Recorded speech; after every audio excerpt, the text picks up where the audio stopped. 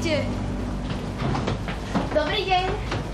Zase nejaké otravné decka. Pán kapitán, môžeme sa odfutiť, ako kormidlujeme loď? Nie. No, deti, bohužiaľ to nebude možné, sú na to predpisy. Mne vás ani nenapadne tam vstupovať. Vidíš ten nápis? No to se dalo čekat. V lodní dopravě platí přísná nařízení. Do bezpečnost posádky, ale hlavně pasažérů. No tak poďte. Jedna fotka a von. Dobre? čudlíku! Pán kapitán, toto je klakson? No hlavne sa ničoho nechytajte, áno. Len na chvíľu pridržte to kormidlo. A ty nejdeš? O, nie, ja ich odfotím. Ty sa nechceš odfotiť s nimi. Môžem? No jasné.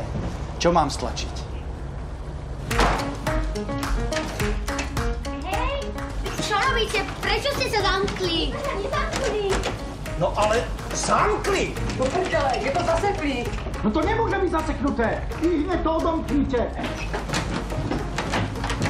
Kapitán, to riadilo, keď vy ste tu. To hádam nie.